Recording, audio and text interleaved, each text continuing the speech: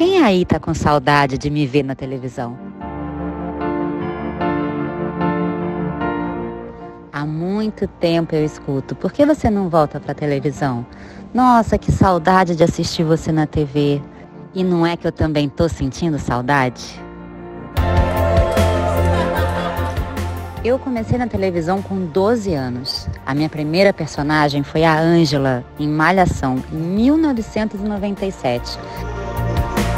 Ah, também não é assim, né, Úrsula? Eu tropecei, acontece, né? E de lá para cá, eu emendei vários trabalhos, momentos incríveis, marcantes. Minha primeira novela foi a novela das sete, A Ritinha, de Corpo Dourado. O Cris estava morrendo de ciúmes por causa do Júnior e o Zeca nem falou nada. Também o Clone, todo mundo tendo a oportunidade de rever o Clone, a Thelminha, Mel, uma personagem tão o que, marcante. que foi? Veio cheirar também? Que isso? Que agressão é essa? A gente vai cheirar tudo sim, Thelminha. E ninguém tá ouvindo de ouvir sermão, não, Sou tá? eu, Mel. A Thelminha, você tá me estranhando? E de lá pra cá eu fiz várias novelas, personagens marcantes, como a Gisela, de Estrela Guia, que tinha o cabelo laranja, que marcou toda uma geração.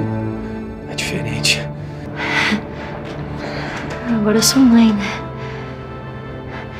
Nem que eu quisesse podia ser mais aquela inconsequente. A novela mais recente que eu fiz foi Escrava Mãe. Nossa, a terrível Maria Isabel. Eu odiei. Eu odiei muito e com todas as minhas forças. Pensa no tanto que foi tenso fazer essa personagem, toda a preparação, todas as cenas, foi um enorme desafio. A gente vai sair agora pra fazer a ultra do bebê. Mas já dá pra saber se é menino ou menina? Ah, ainda é muito cedo, né? Eu tô no início da gravidez. Você quer menino ou menina? Menina. Desde que eu tive as crianças, as crianças, porque eu fiz uma novela, parei para poder ter a minha filha e logo emendei no meu filho, tive dois filhos. De lá para cá, muita coisa aconteceu. E assim eu criei o Nasce uma Mãe, o nosso canal aqui no YouTube, que vem sendo um sucesso, que me deixa muito feliz.